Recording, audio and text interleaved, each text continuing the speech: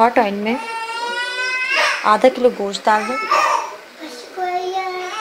उसके बाद थोड़ा सा नमक और लहसुन का पेस्ट।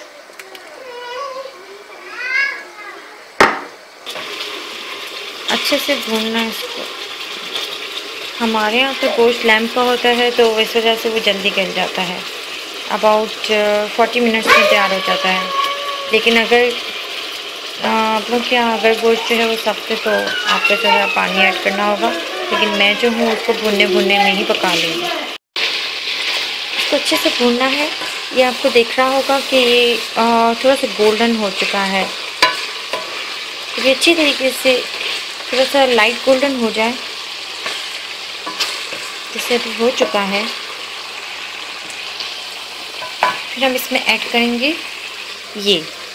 इसमें शामिल है फोर टमाटोज़ मैं फोर टमाटोज़ ऐड कर रही हूँ इसमें क्योंकि मेरा जो आ, मैंने जो लैम्प लिया है वो है हाफ़ के जी इसमें मैं four tomatoes four chilli and half teaspoon इसमें रेड चिली पाउडर है। ये सब मैं इसमें ऐड कर रही हूँ। अब इसको थोड़ा सा इसमें मिक्स करके ढक्कन ढक के रख दूँगी। मैंने टमाटर इसमें ऐड कर लिए हैं। अब मैं इसके ऊपर ढक्कन ढाक रही हूँ ताकि टमाटोज़ जो हैं वो नरम पड़ जाएँ। यहाँ पे ये देखिए, इसके टमाटर जो हैं वो बिल्कुल गल चुके हैं और बस इसका मुझे पानी खुश्क करना है और उसके बाद फिर हम इसको डिश आउट करेंगे। पानी खुश्क हो जाए, इसको अच्छे तरीके से।